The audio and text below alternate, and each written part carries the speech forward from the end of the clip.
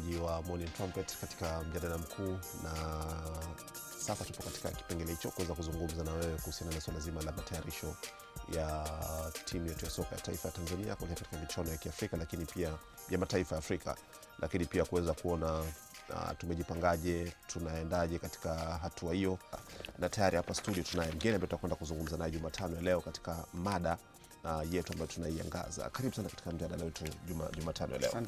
Naam, ni mtendaji kutoka shirikisho la kabumbu. Kama nitakosea title yako, hebu nirekebishe ni, ni nirekebishe vyema. Ni mjumbe Ni mjumbe wa kamati ya utendaji ya, Ya- TFF ya na mwenyekiti wa kamati ya ufundi na maendeleo ya TFF. ya TFF. Naam, title zote mbili ziko pamoja. Tunaona kwamba Tanzania tunapitia katika safari ndefu kabla ya kufikia hatua hii ya kufuzu kwa ajili ya michuano ya um, fainali za Afrika ambazo zitafanyika Moroko mwakani. Tumejipangaje? E, kikubwa mm. kwamba sisi kama viongozi wapya baada ya kuingia madarakani mm. moja ya mipango yetu ya muda mfupi kabisa ilikuwa ni kuhakikisha kwamba tunafuzu kwa ajili ya hizi fainali za mwakani Moroko. Kwa hiyo jambo la kwanza kabisa tuliojipanga ni kuhakikisha kwamba tunakuwa na benchi la ufundi lenye nguvu ya kutufikisha huko, na ndio maana tukamwajili mwalimu Martin Moranzi ambaye ana uzoefu mkubwa na soka la Afrika, na tulifanya mchakato mkubwa kumpata kwa sababu tulikuwa na makocha karibia ishirini na tukampata Mr. Noij ambaye tunajua na nafikiri na wewe unafahamu Mm. aliipeleka Mozambiki kwenye fainali baada ya muda mrefu, lakini vile vile aliipeleka timu ya under 20 ya Burkina Faso kwenye fainali za kombe la dunia za vijana. Kwa hiyo hicho ndio kitu cha kwanza cha kujipanga, lakini kitu cha pili tuliamua kwamba sasa tulete mabadiliko ndani ya kamati kwenye technical bench ya timu ya taifa. Kwa hiyo tuliweka wataalam pale. Leo hii tuna daktari bingwa wa mifupa tumemwajiri yuko pale, lakini tumeajili mtaalamu wa chakula na lishe, mwanadada ambaye ana master of science in human nutrition kwa ajili ya kuhakikisha kwamba wachezaji wetu kati ya vitu ambavyo wanapungukiwa ni lishe, tunaye pale. Lakini bado tumekuwa na wataalamu wa saikolojia wanaokuwa na timu Mm. lakini vile vile tulileta golkipa ambaye tunaamini kocha magolkipa ambaye amefanya kazi kubwa Patrick Mwangata. Yote ni kuhakikisha kwanza tunaboresha benchi la ufundi ambalo likiwa kwenye kiwango kinachohitajika, hapo tunaweza kuanzia kama ngazi sasa ya kujenga timu yetu.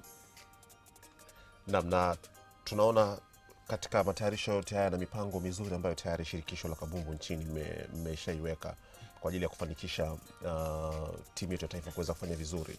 Kuna nafasi ya mchezaji mmoja mmoja, na tumeona timu ambayo imekuwa tumekuwa nayo katika nyakati zote na wachezaji ambao wamekuwa wakiitwa katika timu ya taifa hatu hawafikishi malengo yale ambayo TFF mnakusudia. Labda safari hii limelitazama vipi na kuweza kupata nafasi ya kuwa na wawakilishi wazuri ambao wataweza kuisimamia vyema bendera ah, ya Tanzania katika michuano hii ya kimataifa. E, mi nafikiri mm. kikubwa mm. ambacho sisi tumejipanga nacho, kwanza cha kwanza kuhakikisha kwamba tunatengeneza mazingira mm. ya wachezaji kuweza kushindana, mm. na ndio maana unaona kwa mara ya kwanza tumepeleka kambi ya timu ya taifa nyanda za juu kusini huko kwenye mikoa ya mbea ambapo tunaamini kwamba mazingira ya kule yanaweza kumwandaa mchezaji akaweza kushindana kwenye kiwango ambacho kinahitajika kimataifa. Hilo lilikuwa ni jambo la kwanza, lakini jambo la pili, baada ya kuwa tumewapatia sasa wataalamu wa ufundi vile vile ni kuhakikisha kwamba kunakuwa kuna motisha hali ya juu miongoni mwa wachezaji wenyewe ili wahakikishe kwamba wanafanya kile ambacho Tanzania wanataraji. Lakini si hivyo tu, lakini kuwajengea kisaikolojia, kujua nafasi yao kwenye timu ya taifa ni ipi, ni nini umuhimu wa mchezaji kuitwa kwenye timu ya taifa. Kuonyesha kabisa ni kwamba timu ya taifa ndo kitu pekee ambacho kinaweza kikasababisha kwa namna moja au nyingine kuwatoa hapa walipo kwenda kwenye nafasi nyingine. Kwa tumejaribu kuandaa vile vile kisaikolojia wachezaji wetu wajue kwamba unapokuwa mchezaji wa timu ya taifa ni thamani kubwa sana mm. na kwa kuonyesha kwa mifano leo hii wenzetu walioendelea huko, hata awe nalipwa mshahara mkubwa kiasi gani, anapokuwa hajaitwa timu ya taifa huwa ni majanga makubwa kwake. Kwa hiyo tumejaribu kuwa tunalinganisha mifano, tunawaambia wachezaji kama kina Luke Shaw wa Uingereza siku anaitwa timu ya taifa alilia, mm. lakini mchezaji anayelipwa fedha nyingi. Kwa hiyo ijalishi vilabu vinalipa kwa namna gani, mm -hmm. lakini ni thamani kubwa ya mchezaji kuchezea timu yake ya taifa. mm. Hata una kiwango kikubwa namna gani, kama hujaitwa kwenye timu ya taifa, bado thamani yako kama mwanasoka haitakuwa imetimia. Kwa hiyo ni vitu ambavyo tumekuwa tunajaribu ku- ku- kwa namna moja au nyingine, motisha, saikolojia, mazingira, combination mm. ya vitu vingi ambavyo vitafanya wao watupe kile ambacho Tanzania wengi wanakitaraji. Kidao, lakini tunaona katika kambi imekaa Mbeya muda mrefu na sasa wanarejea Dar es Salaam, lakini mechi ambayo wataicheza Dar es Salaam na mazingira ya hali ya hewa ya Mbeya kuna utofauti kwa kiasi fulani. Hili mmelitazamaji, pengine aliwezi kuathiri uh, kasi pengine na um, uwezo wa wachezaji kumudu hali ya hewa mbili tofauti waliofanyia mazoezi kwa muda mrefu na sasa wanakuja kucheza Dar es Salaam, tofauti na mechi ambayo wangecheza Mbeya kama ulivyokuwa utashi wa mwanzo wa shirikisho la kabumbu hapa nchini. E, mi sidhani kwamba kutakuwa kuna athari kubwa, na kwa sababu moja ya sababu kubwa za kufanya mechi ichezwe Mbeya ilikuwa sio kwa sababu tu ya hali ya hewa. Mm. ilikuwa ni katika utaratibu wa shirikisho kuamua mpira unachezwa mikoani, kwa kila watu wana nafasi ya kuona timu yao ya taifa. Na of course tuliangalia ili kwa umakini mkubwa, na hata mwalimu mwenyewe alisema kwamba litakuwa halina athari kubwa sana, na kwa sababu nafikiri kutakuwa kuna faida, kwa sababu watu wanaotrain kwenye high altitude mm. wakija hapa, hata zile pumzi za kucheza uwanjani zinakuwa ni nyingi, tofauti na kama wangetrain sehemu yenye jua. kwao. kwa hilo wataalamu tumekaa na tumeongea nalo, tumeshauriana, wanasema litakuwa na athari yoyote katika mechi yetu ya Jumapili dhidi ya Zimbabwe. Naam, Kidau, tu- tunaona katika swala zima la kamati yako ya ufundi ambayo ni mwenyekiti wa kamati hii ya shirikisho la kabumbu nchini, hatujafunga bao katika mechi za karibuni, bao hata moja. Tumecheza na Burundi, hatukuweza kufunga bao. Tumecheza na Malawi, pia hatukuweza kupata nafasi ya kufunga bao. Tunakwenda katika mchezo mwingine na kuna nafasi kubwa ya kuweza kuwakosa uh, washambulizi mahiri wa Tanzania ambao wanasakata kabumbu la kulipwa huko Jamhuri ya Kidemokrasia ya Kongo. Tunafanyaje hapa ili kuweza ku, ku, kuongeza makali zaidi katika safu yetu ya ushambulizi ya timu ya soka ya taifa?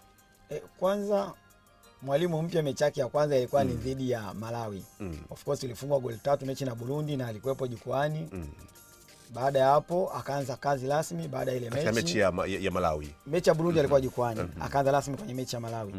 Sasa tunasema hata nyumba watu wanaanza msingi Kidogo. Kwa kitu cha kwanza kabisa mwalimu alikazania katika ulinzi mm -hmm. na naamini ukiangalia kwa muda mchache mm -hmm. kumekuwa na mabadiliko makubwa sana ya safu ya ulinzi. Yale makosa ambayo tulikuwa tumeyazoea kuyaona mm -hmm. at least kwenye mechi ya Malawi kulikuwa kuna makosa mengi, lakini vile vile ameanza kutengeneza combination nzuri katika ushambuliaji mm -hmm. na kwa sababu ilikuwa ni kipindi kifupi, naamini kwa maendeleo ya timu mpaka sasa hivi nafikiri hadi Jumapili vijana watakuwa vizuri, kwa sababu hata mechi ya Malawi unakuta kuna nafasi mbili tatu ambazo zilikuwa zinatengenezwa katika mazingira ambayo kwa, nam- kwa mara ya kwanza mi nasema kuna baadhi ya wachezaji walicheza katika timu ya taifa walionyesha kiwango kikubwa.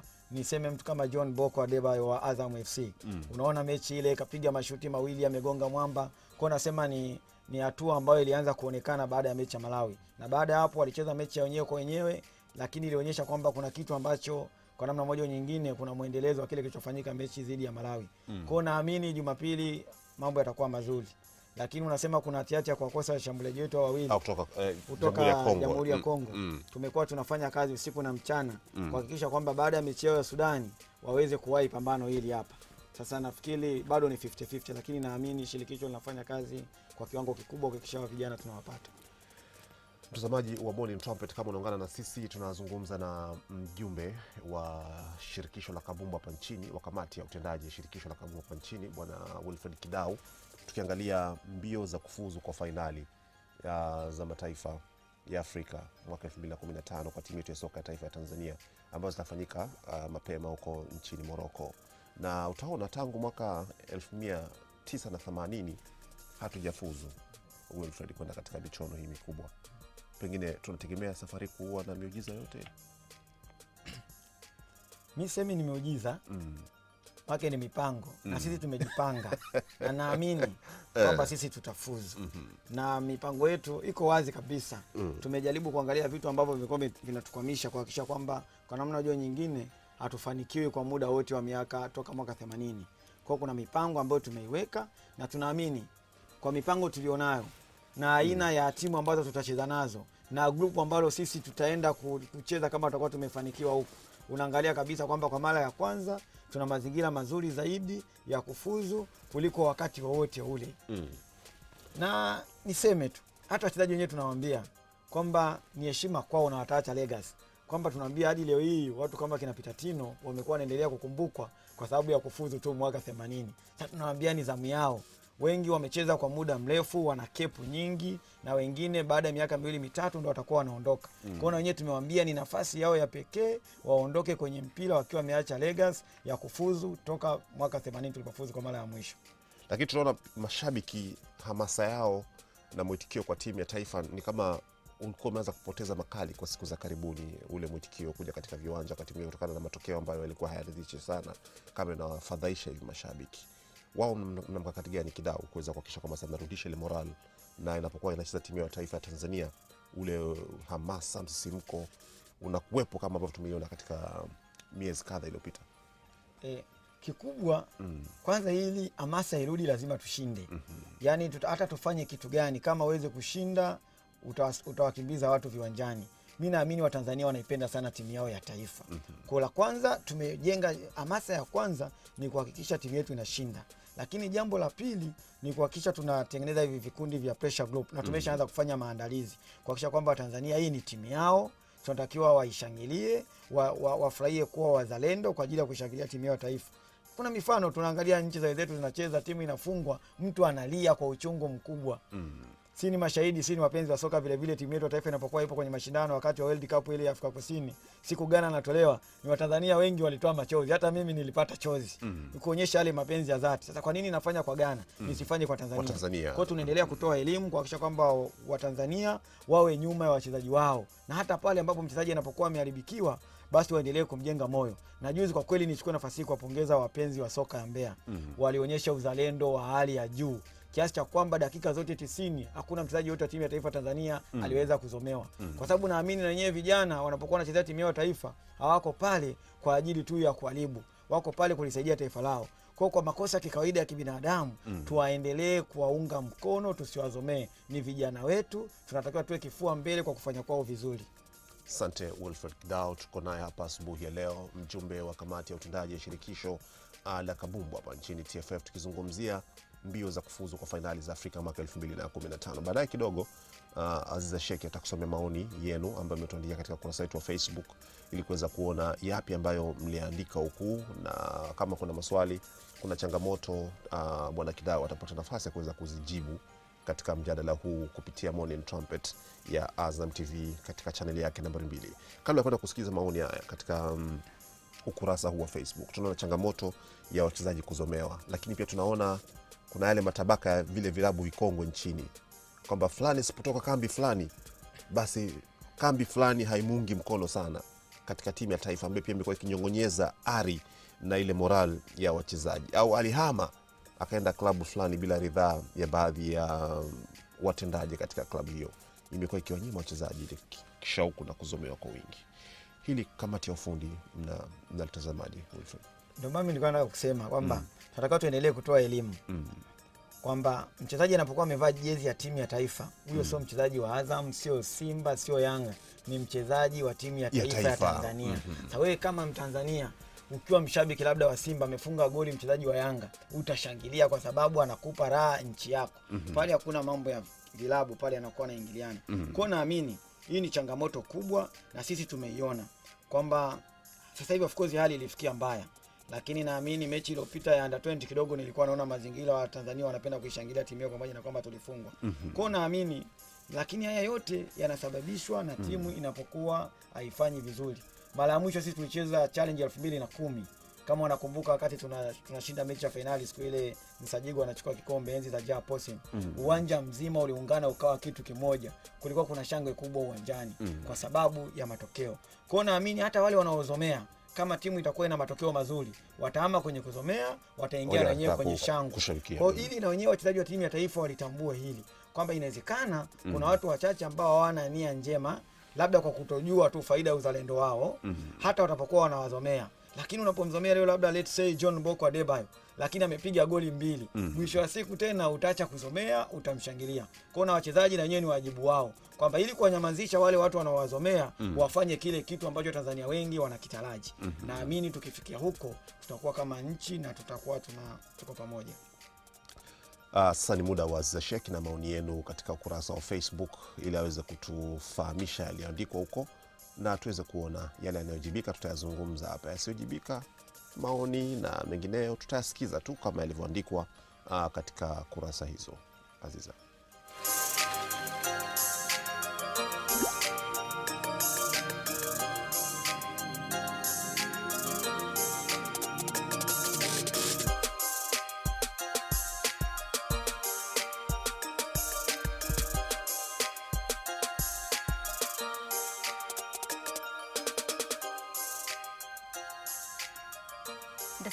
Wa Azam TV, tukielekea moja kwa moja katika maoni yenu mliotuma katika mitandao ya kijamii huko Facebook kuzungumzia swala la mbio za kufuzu mataifa ya Afrika 2015. Tukianza moja kwa moja katika maoni yenu, tunaanza na Nuhu Fadhili au Baba Subira wa barabara 16 Tanga. Anasema kwa nini hawa watoto wanaoishi kwenye mazingira magumu kwa uzoefu wao mdogo msiwatumie kwa kujiendeleza? Tumechoka na magari ya mkaa. Huyu ni Nuhu Fadhili kutoka huko Tanga, barabara 16. Naye Abdulazizi Maliki wa Mtibwa Turiani anasema kinadharia kuna mipango murua. Hata sijaelewa kwa kweli, sijui ndio watoto wa mtaani wana, wanakuwa kwenye magari Magari ya mkaa yamechoka. Ah, magari ya mkaa Yamezeeka sana. Kwa hiyo wachezaji wazee wale wa ndio Kongo wenye magari ya mkaa. Ah, baba- huko. subira sasa hiyo hiyo hiyo umepitiliza hiyo. Hebu Okay. Abdulaziz Maliki mm. wa Mtibwa Turiani mm. anasema kinadharia kuna mipango murua, ila utendaji bado mbovu mpaka sasa. TFF waache propaganda za media, wapige kazi. Huyu ni Abdulaziz kutoka huko Turiani, Mtibwa. Naye Hamisi Mpomo anasema kwanza anaipongeza TFF kwa kazi wanaofanya wanazozifanya. Anaomba watafute mdhamini iendeshe ligi ya watoto chini ya miaka ishirini ndio unakuwa mkombozi wetu. Huyu ni Hamisi Mpomo. Naye Haruni Chilimba kutoka Tandahimba anasema Watanzania bado hatujatilia mkazo katika uwekezaji uwekezaji wa michezo. Juhudi zinahitajika katika kuliinua soka la Kitanzania. Pia stopa akaze buti, muziki una changamoto mno na vijana wanakuja kwa kasi. Huyu ni ujumbe ulikuwa ni stop ambaye ameshaondoka tayari. Eh, ameshaondoka. Mm, -hmm. Naye Saidi Litwe anasema anaomba pia kumuuliza stopa vipi bado yupo TMK wanaume halisi au ameshatoka na vipi ameshatoa nyimbo mpya. Saidi Litwe kutoka Mbagala. Saidi Litwe, Litwe kutoka Mbagala. Uh, stopa hakuwahi kuwa ka kundi la TMK, alikuwa kundi la waturutumbi hakuwahi, ila amefanya kazi na Juma Nature na ndio wimbo wake mpya aliyese amesema kwamba ametoa na Juma Nature, ila hakuwahi kuwa kundi lolote la TMK. Breki upige break kidogo. Na tu, tu nani? Tuone hizi uh, Wilfred. Tumemsikia mdau Nuhu Fadhili. Anasema wale watoto mtaani vipi? Labda mi nijibu maswali yake yote kwa haraka haraka kidogo, nimeweka kichwani. Mm, hilo la watoto wa mtaani. mm, Sisi tumekuwa tunasaidia. Toka tuingie, tumekuwa tunasaidia na hasa mkoa wa Mwanza. Mm, kati ya mikoa ambayo tumekuwa tumeipa kipaumbele kikubwa ni mkoa wa Mwanza. Mm -hmm. na kama utakumbuka rais wa TFF ameenda Mwanza mara mbili kwenda kituo cha Alliance, alienda mwenyekiti wa soka ya vijana, tulimpeleka mwalimu wa timu ya taifa Mayanga naye wakati ule mwalimu saidizi Tumekuwa tuna sapoti harakati za soka ya Mwanza hususan kupitia kwenye vijana. Mm, na hata timu ya under 12 tunaunda timu ya under 12 ya taifa Mm. katika kuhakikisha kwamba tunawekeza kwenye vijana, na kambi za kwanza mbili, moja itakuwa ni Mwanza na ingine itakuwa hapa Dar es Salaam. Kwa hiyo wachezaji wale wa timu ya toto tuseme, sijui tuseme watoto mitaani, sijui nitumie lugha gani ambayo ni nzuri, wanaishi katika mazingira magumu. wanaishi katika mazingira magumu Mm. watakuwa ni sehemu Mm. ya kikosi cha hiyo timu mm -hmm. yetu ya under 12 kama umri unaruhusu, lakini waambia Watanzania, hata yule mwalimu aliyeenda na hiyo timu ya vijana ya Mwanza ya watoto wanaishi katika mazingira magumu, mm -hmm. sisi kamati ya ufundi ndo tuliwapa ile kile kituo huyo mwalimu mwalimu Jabiri wa Zanzibar mm -hmm. kwa kuheshimu mchango wao katika mpira wa miguu.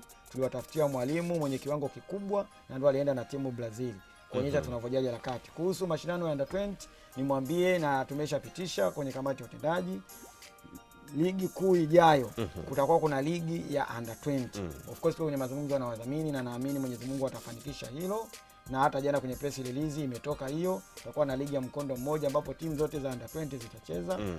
lakini vile vile kwamba kuhusu magari ya mkaa tutumie vijana, mimi nataka niseme kwenye timu ya taifa of course, na sisi tupo kwenye changamoto kubwa ya kuhakikisha kwamba tunazalisha wachezaji vijana wengi kadri iwezekanavyo ili waweze kuja kuchezea timu ya taifa, lakini ni ukweli uliopo kwamba bado wachezaji wetu wa timu ya taifa tuna imani nao, wana viwango vikubwa na tutafanya ile replacement taratibu.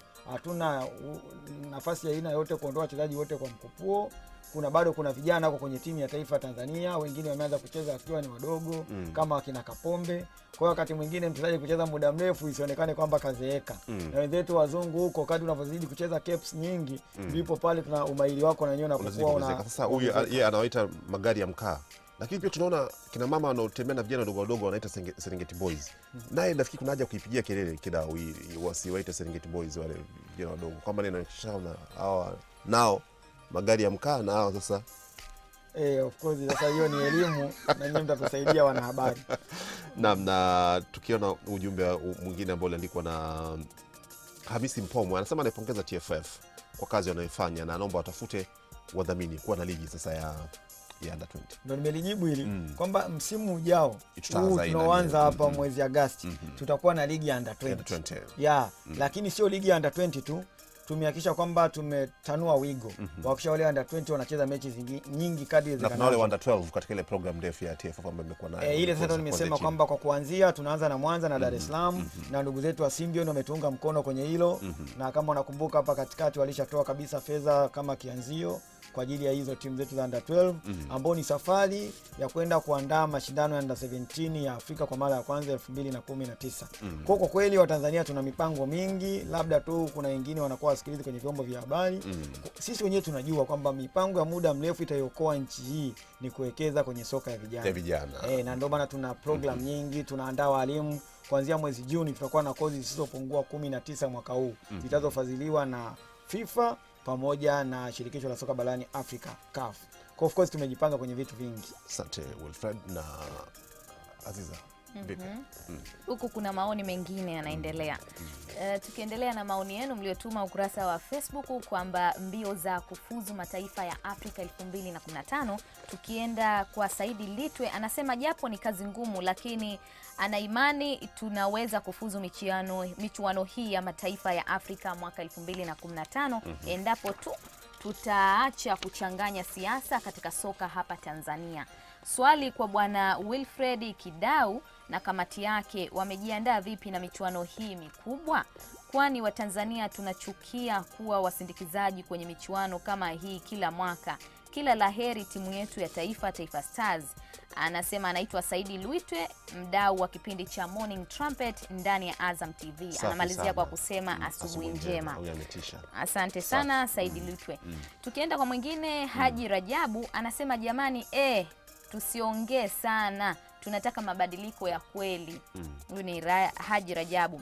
Naye Hamidu Msonge anasema swali lake, eh, timu ya watoto wa mtaani iliyochukua ubingwa wa kule Brazili kwa sasa ipo wapi? Na kwa nini mashindano ya chini ya miaka 17 tusiwapeleke hawa ndio wawe washiriki wao? Huyu mm. ni Hamidu Msonge. Naye tukimaliza katika maoni yenu, tunamalizia na Elvis Mwesigwa anasema binafsi a- anawaomba TFF waachane na habari za maboresho. Tunataka timu ya ushindi ya kuweza kutufikisha huko tunakokutaka.